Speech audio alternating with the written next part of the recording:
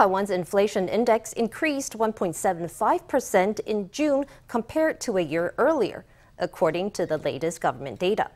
That's the smallest increase in 27 months.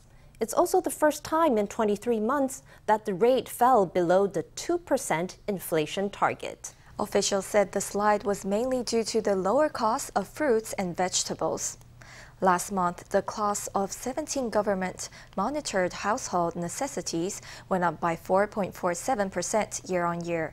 That's the smallest rise in 14 months.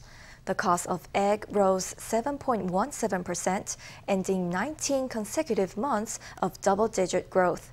The worst inflation was seen in hotels and other accommodations, which rose by 22.37%.